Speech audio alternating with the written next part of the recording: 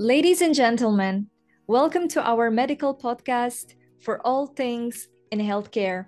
I'm your host, Dr. Nigar, and I'm thrilled to introduce our esteemed guest today, Dr. Lamia Ibrahim, a specialist in obstetrics, gynecology, and reproductive endocrinology with over 15 years of expertise in infertility treatments.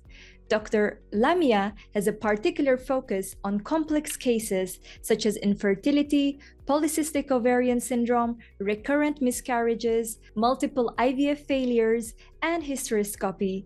Today, we will delve into a very crucial topic that's gaining prominence in reproductive medicine, which is egg freezing. Dr. Lamia will be sharing her insights on when women should consider egg freezing, the process that's involved, its potential risks, and post procedure care. So, without further delay, let's dive into the world of egg freezing with Dr. Lamia Ibrahim. Welcome, Doctor.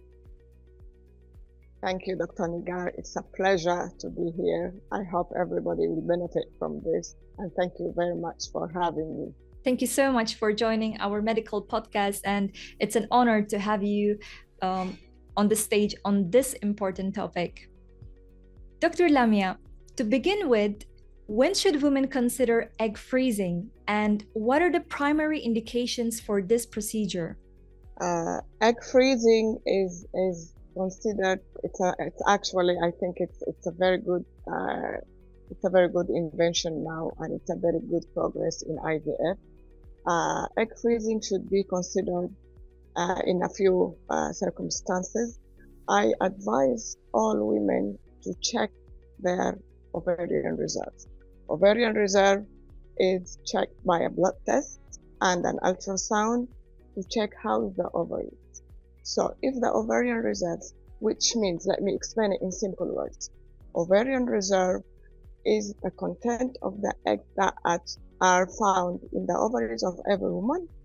Uh, they are produced at before birth when we are created and it declines as the time goes and once we reach 45 to 49 years old it diminishes completely the problem is nowadays uh, with so many factors environmental genetic we are seeing a lot of reduction in the fertility and in the ovarian reserve so one of the main uh, needs for egg collection and freezing is if the ovarian reserve is low.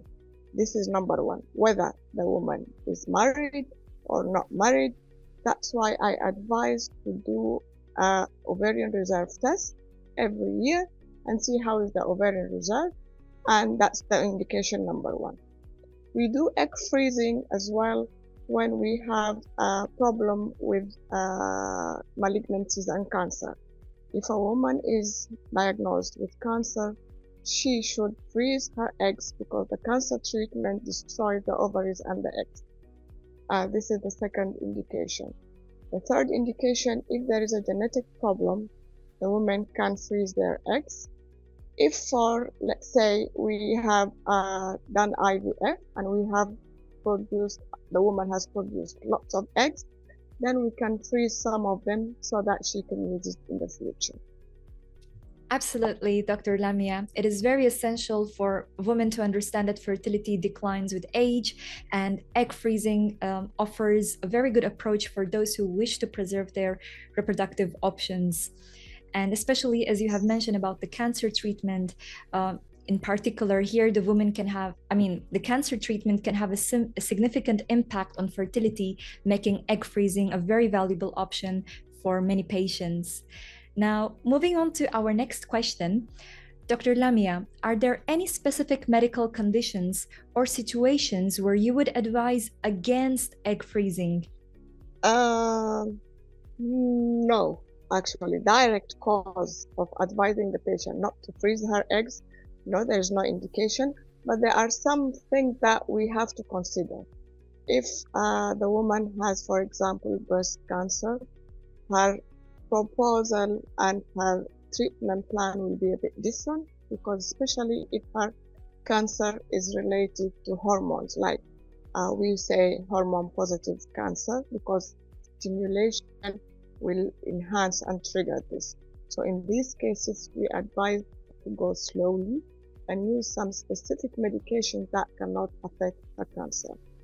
Uh, if there is a genetic problem with her uh, genital tract, then it might be difficult to do it. But there is no indication to say no, a woman should not freeze her eggs. Thank you so much for making that clear, Dr. Lamia. Now, moving on to our next question, could you please explain the egg freezing process in simple terms from initial consultation to retrieval? Initially, all women normally in the normal life produce many eggs every menstrual cycle, which happens every month, of course. So before their menstruation starts, their ovary, by uh, some uh, control from the brain, chooses some eggs, which let me just go back to the history. When the woman is uh, created in the womb, uh, they have about 9 million eggs in their ovaries produced. Once she is born, this number declines to 2 millions. Once she reaches menarche and starts menstruating, the number is around 700,000. This 700,000 every month the women lose about 500 to 1000 eggs with their menstruation. These are recruited every month and a few of them are uh, progressing. And when we do an ultrasound, for example, we see the number of eggs that are in the ovary. So normally many eggs are, are recruited every month, but one of them sometimes more than one two, which is rare when we have twins and for example, but normally one egg is, we call it the dominant egg or the follicle, we call it the follicle. I'm going to say egg because it's easier for the patients to understand it, but it's a follicle and inside the follicle there is an egg. So the follicle is, some follicles are produced uh, once the body with the hormones, with the effects between, there's an axis between the brain and, and the ovary one egg is chosen to grow and to get fertilized, to ovulate and get fertilized every month. What happens to the other eggs? The other eggs are necrotized, they are dead, they die. So every woman, every month, she loses many eggs. One of them might produce, might grow and become a dominant follicle, and that's the one which uh, can be fertilized.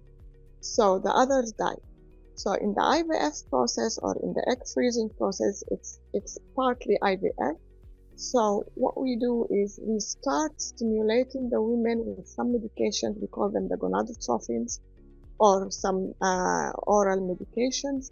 But mostly we go for the gonadotropins because we grow these follicles before they die, before they are necrotized, because, because before they become necrotic. So we grow all the eggs that are produced that month. We do not reduce the ovarian reserves. We grow the eggs which are produced already by the body at this cycle. We don't produce eggs, we just grow them. So once we give these medications, we give them for about 10 days to two weeks, most of the women. We follow uh, that, that egg growth. We see the patient every three to five days. We see how it grows, what is her response to the medication, to the dose we have given her. So if there is any delay or if there is any um, slow growth, we can increase the dose or we can sometimes need to change the medication. It depends on the response of every single patient. That's why we say it's an individualized treatment. So once the eggs reach a proper size, which is between 17 and 23, of course, not all of them will grow in the same pattern. Some of them will grow faster, some of them will be a bit slower. So once we reach these mature sizes of the eggs, we give the patient what we call a trigger shot. A trigger shot is a medication that we give it to transfer the egg from an immature phase to a mature uh, what we call it from a primary oocyte into a secondary oocyte. The secondary oocyte is the oocyte that can be fertilized. So we give the trigger shot so that we can collect the eggs. Then we collect the eggs through a transvaginal. We get the ultrasound probe we put it through the vagina and we collect the eggs after 36 hours or 30, 34 to 40 hours of the trigger shot.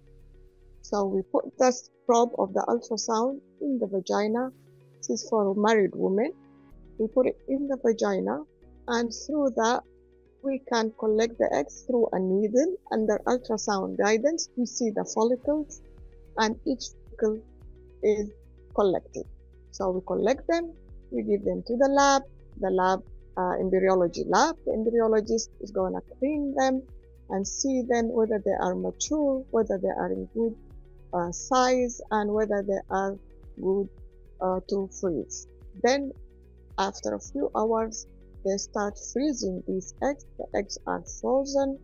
Uh, I'm saying eggs, unfortunately, but it's that oocytes. So these oocytes are all checked and they are frozen in the lab in small straws.